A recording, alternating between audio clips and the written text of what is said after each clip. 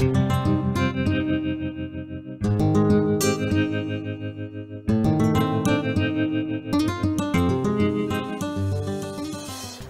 viernes, amigas y amigos de Iniciativa Ciudadana. Bienvenidos al boletín número 46 del Observatorio Binacional. Esta semana les traemos información sobre el voto de los oaxaqueños en el extranjero. Como ustedes saben, en este año habrá elecciones de gobernador en Oaxaca y los oaxaqueños que radican en el exterior podrán emitir su voto si se registran para, para emitirlo. En este sentido, tenemos una entrevista con el doctor Gaspar Rivera, que es líder, migrante y académico de la Universidad de California, que nos eh, platica sobre los cálculos de más de 1.200.000 oaxaqueños que se encuentran en los Estados Unidos, principalmente en los estados de Washington, Oregon, California, Arizona, Texas, Florida y Nueva York. También traemos esta semana en el boletín del Observatorio Binacional información sobre la Comisión Interamericana de Derechos Humanos que presentó su informe sobre movilidad humana en México y en el cual nos reitera sobre las obligaciones incumplidas del gobierno mexicano en materia de movilidad, eh, sobre todo respecto a las personas solicitantes de asilo y refugio que llegan a México.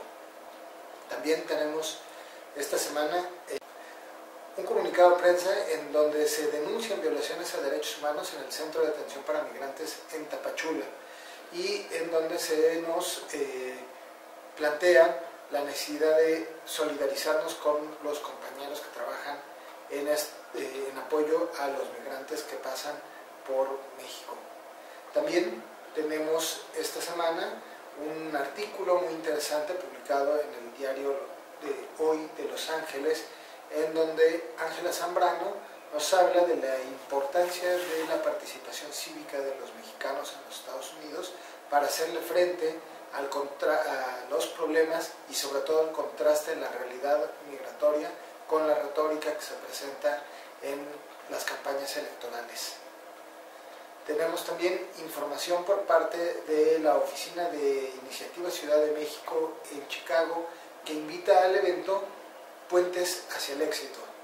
Eh, Iniciativa Ciudad de México nos invita a participar en este eh, encuentro de desarrollo eh, para emprendedores, donde se ofrece a las pequeñas y medianas empresas un foro para evaluar oportunidades de contratación en el condado, en el estado de Illinois y el proceso para iniciar un negocio exitoso.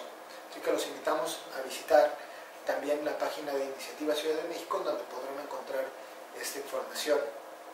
Y como todas las semanas, los invitamos a visitar todos los productos informativos de Iniciativa Ciudadana. Hasta luego.